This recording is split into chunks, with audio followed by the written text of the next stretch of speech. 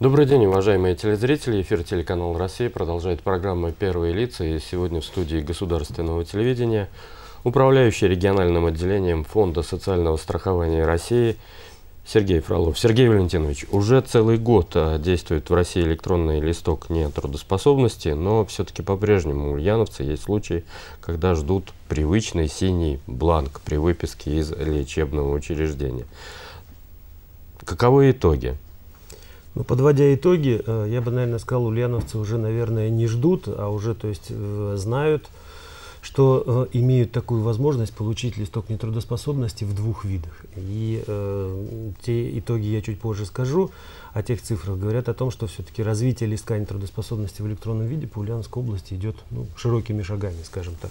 Если в 2017 году с момента введения э, изменений в действующее законодательство, которое ввело листок нетрудоспособности в электронном виде в оборот, было 40 лечебных учреждений из всех лечебных учреждений по Ульяновской области, что составляло там порядка 43% от общего количества, э, которые вошли в, э, и приняли этот оборот листка нетрудоспособности в электронном виде, э, то в настоящее время это уже 68 лечебных учреждений. Это составляет порядка 73%. И если э, значит, на, в принципе, сегодняшний день, вот, ну, грубо говоря, на 5 июля выдано листков нетрудоспособности в электронном виде порядка 46 тысяч. Если сравнивать с другими регионами в целом по стране?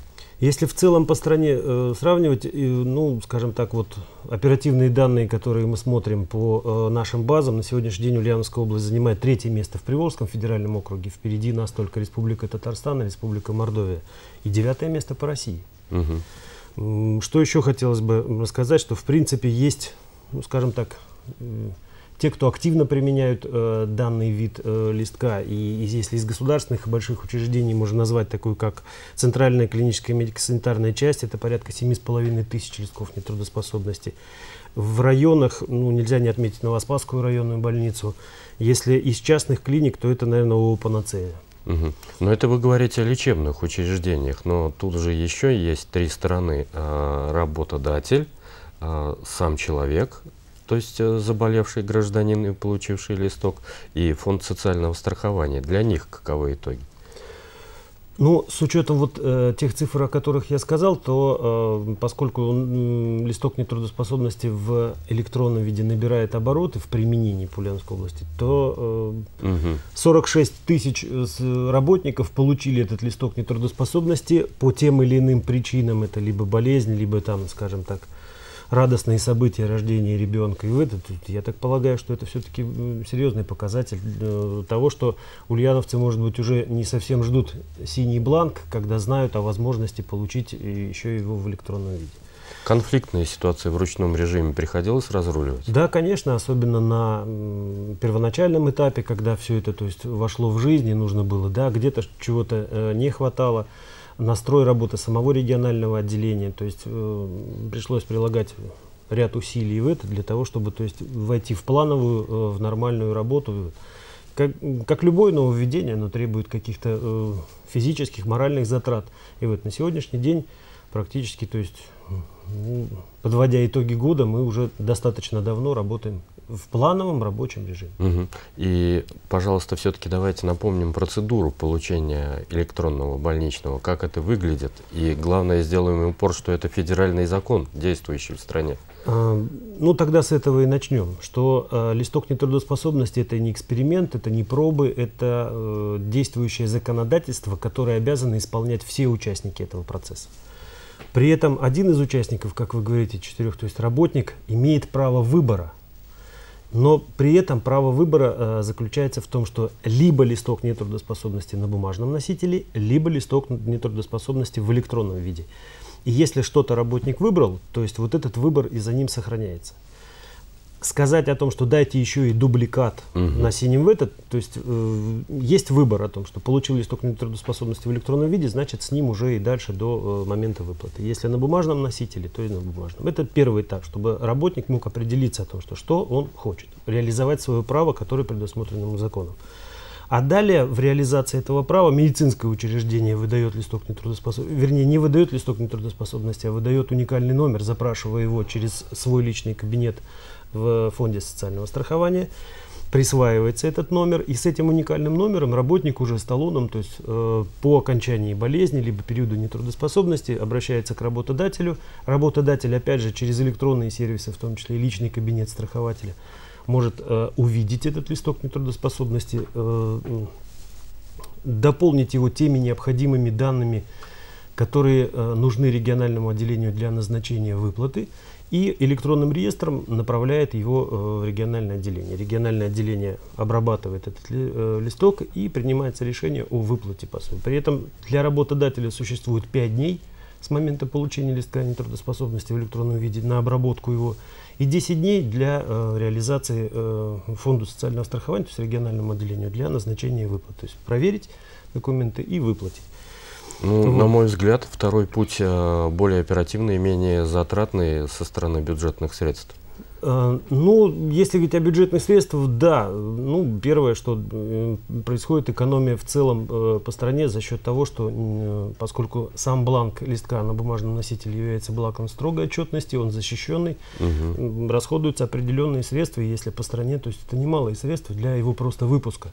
Кроме того, как бланк строгой отчетности, он имеет определенные э, требования к его хранению, перевозке и так далее. То есть вот эти средства за счет применения, большего применения листка трудоспособности в электронном виде, конечно, они экономятся. Угу. И наши лечебные учреждения по этому пути пошли.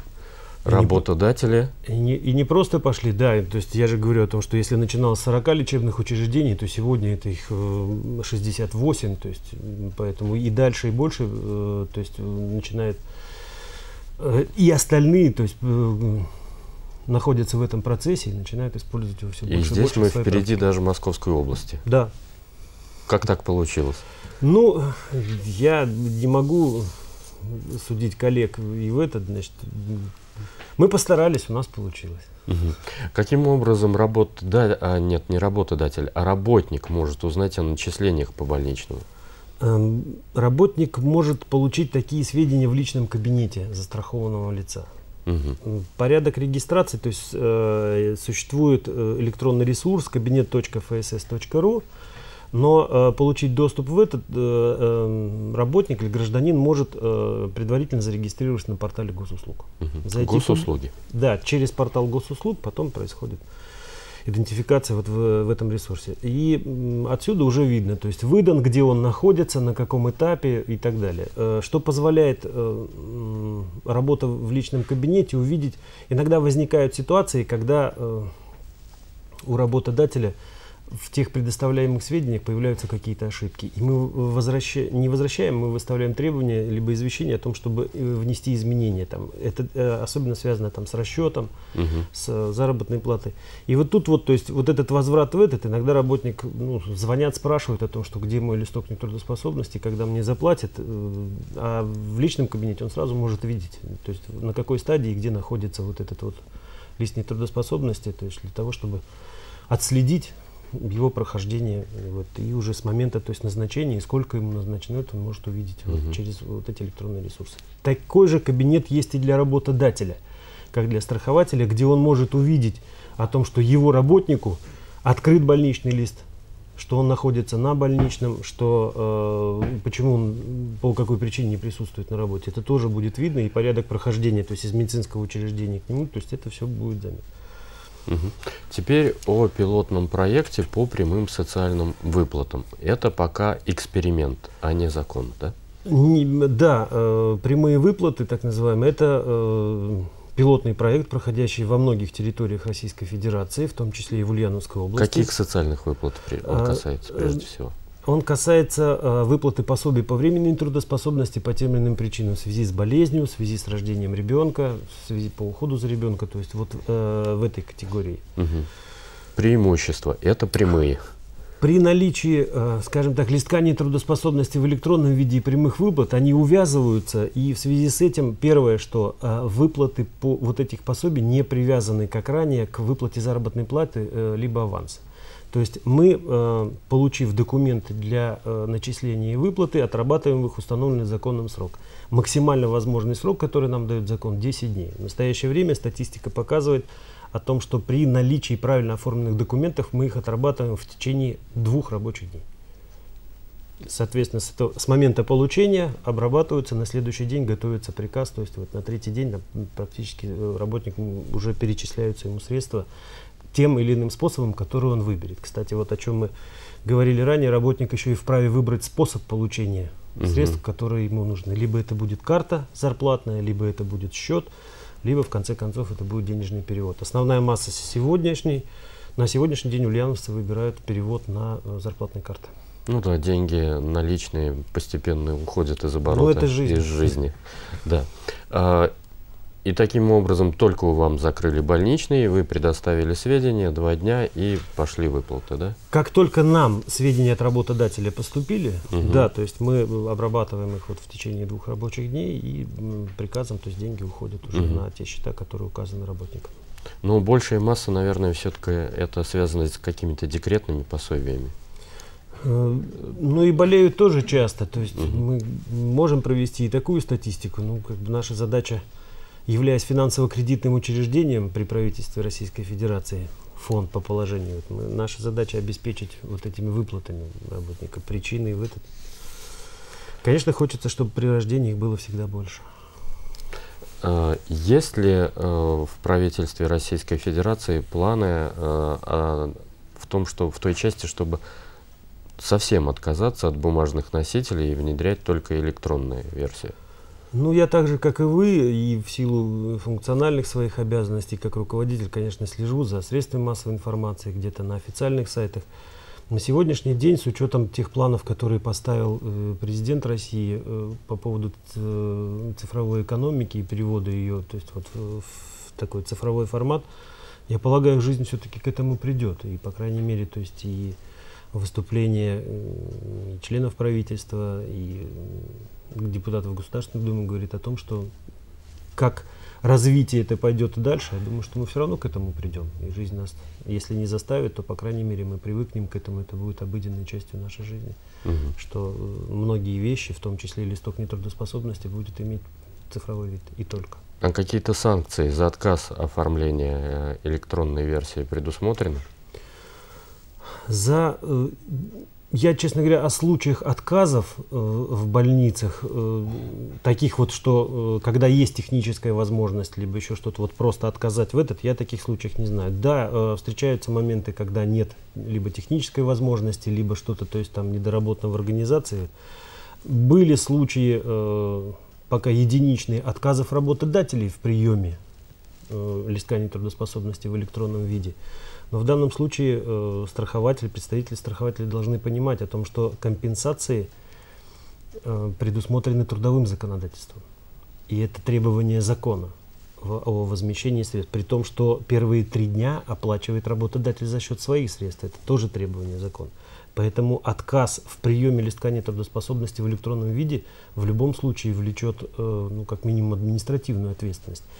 При таких случаях, когда э, то есть мы видим, в этот материал направляются в Государственную инспекцию труда и в прокуратуру Ульяновской области для э, того, чтобы принимались меры уже э, в рамках тех функций, которые возложены на эти органы. У Фонда социального страхования таких функций контрольных и привлечения в данной части к ответственности нет. Но мы этой информацией делимся и в рамках имеющихся соглашений с, федера... с иными федеральными структурами, ну и в рамках тех рабочих тесных взаимоотношений, которые сложились с иными федеральными структурами, в том числе и с прокуратурой, с Государственной инспекцией труда. Угу. То есть на сегодняшний день вы видите только положительные стороны, и э, на территории Ульяновской области этот процесс все ширится и ширится. Да, это так. И ну, из тех, может быть, о тех, о чем мы не сказали еще, о положительных сторонах. Ну, первое, что э, бум, э, в отличие от бумажного листка нетрудоспособности, электронно нельзя потерять он существует, то есть вот в этой форме, и все его могут отследить. И мы можем отследить работодатели, работников этот. Это первое.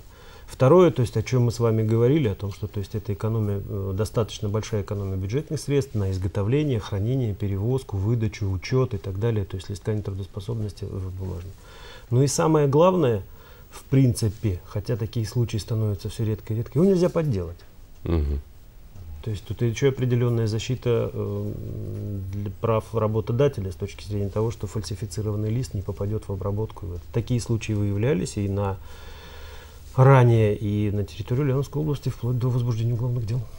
Если электронные больничные с территории другого региона, никаких проблем не Никаких, возникает? пр- никаких проблем не возникает. Мало того, этот принцип, э, и в том числе и по оказанию государственных услуг экстерриториальности, то есть ничего не существует. Работодатель здесь, работник здесь, он мог заболеть в отпуске, на отдыхе, еще что-то, получить листок нетрудоспособности в этот.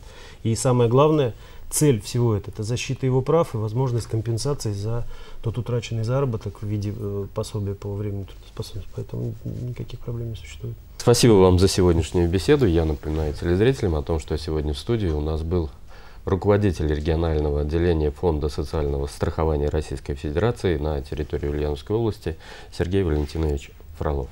Спасибо за внимание еще раз и до свидания.